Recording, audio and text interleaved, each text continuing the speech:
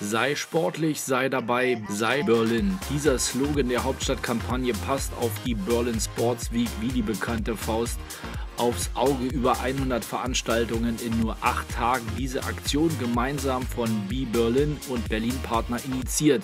Und wir, wir waren auch am fünften Tag wieder hautnah mit dabei und haben gemeinsam mit zwölf Auszubildenden einen Blick in die Arbeit des Olympiastützpunktes Berlin bekommen. Da stand der Tag der offenen Tür an.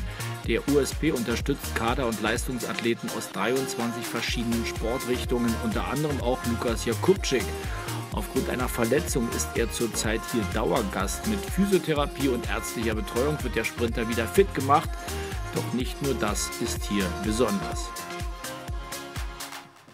Dazu kommt noch äh, die Laufbahnberatung, um halt die Karriere nach dem Sport zu planen, wo der OSP sehr tatkräftig uns unterstützt.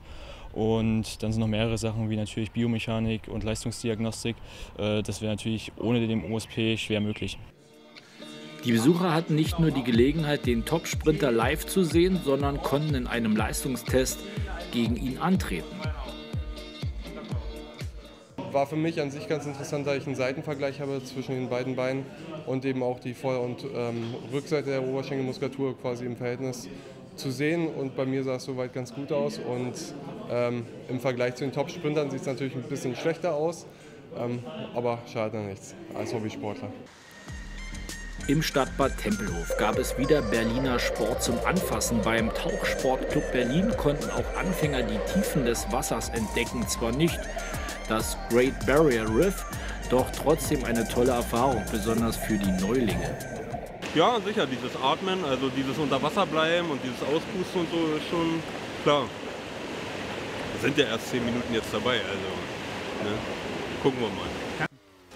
Waghalsige Sprünge, Läufe und Landungen mitten im Großstadtdschungel Parcours kann theoretisch jeder. Praktisch sollte man allerdings dafür trainieren, vor allem Kraft und Ausdauer, so wie hier bei der Parcours One Hell Night. Es bringt einfach viel, um weiterzukommen, sage ich jetzt mal. Man kann wahrscheinlich auch irgendwelches anderes Training machen, aber gerade sowas wie Hangeln oder irgendwelche Treppen hochspringen und so weiter brauchen wir eben einfach, um uns parkourtechnisch durch die Stadt weiter fortzubewegen. Wer jetzt Lust bekommen hat, die Hell Night startet jeden Mittwoch um 18 Uhr an der Tramstation Paul-Heise-Straße. Davor läuft aber noch drei Tage lang die Berlin Sports Week. Morgen kann dann in Stand-Up-Paddling reingeschnuppert werden. Außerdem veranstaltet die AOK ein Sportsymposium und am Abend lösen wir die Frage, hat der Sport in Berlin die Wende geschafft? Sport in Berlin, 25 Jahre nach der Wende. Hauptstadt Sport TV, klickt rein.